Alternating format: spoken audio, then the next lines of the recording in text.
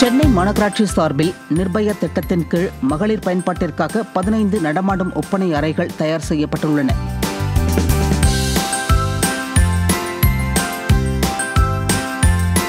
நான்கு கோடியே முப்பத்தி ஏழு லட்சம் ரூபாய் இந்த வாகனங்களுக்காக செலவிடப்பட்டுள்ளது. ஏற்கனவே போராட்டம் ஆர்ப்பாட்டம் உள்ளிட்ட இடங்களில் மகளிர் மற்றும் பொதுமக்கள் பயன்படுத்துவதற்காக வாங்கப்பட்ட நடமாடும் கழிப்பறைகள் பராமரிப்பின்றி பழுதடைந்த நிலையில் உள்ளன. இந்த நிலையில் புதிதாக வாங்கப்பட்டுள்ள இந்த நடமாடும் ஒப்பனை அறைகள் தேவையற்றது என்ற கருத்து முன்வைக்கப்பட்டுள்ளது.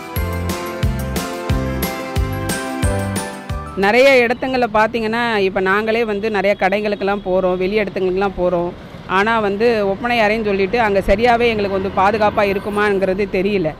ஆனால் இதை வந்து நீங்கள் நடைமுறைக்கு கொண்டு வரீங்க அப்படின்னா அதை வந்து ஒரு நல்ல பாதுகாப்பான முறையில் வந்து கொண்டு வந்தீங்கன்னா பெண்களாகிய எங்களுக்கும் மக்களுக்கும் ரொம்ப நல்லதாக இருக்கும். பெண்களின் பாதுகாப்பை கருத்தில் கொண்டு என்று சொல்லப்பட்டாலும் இந்த ஒப்பனை அறைகள் உண்மையாகவே பாதுகாப்பானதா என்ற கேள்வி எழுகிறது.